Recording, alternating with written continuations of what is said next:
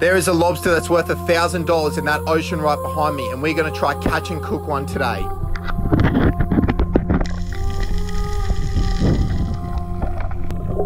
This thing is completely dead. We're putting him out in the most humane way possible. If you haven't ever seen this on the channel, we crack the drink into there and then pop it and we scull it. Cheers to a giant cray and a cray gun. Let's go. Woo! We got the cray gun done with this absolute giant. Look at it. Super stoked with this one. This tail right here, this carries most of the meat. We're just making a small cut around the body, just like that. Give it a little bit of a twist. That is all the meat from the cray tail. Right, we butterflied this crayfish. Garlic butter cray. I'm drooling right now. Let's have a look at her, guys.